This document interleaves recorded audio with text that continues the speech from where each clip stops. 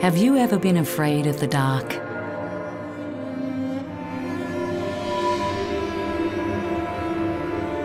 I was. Until I saw the stars.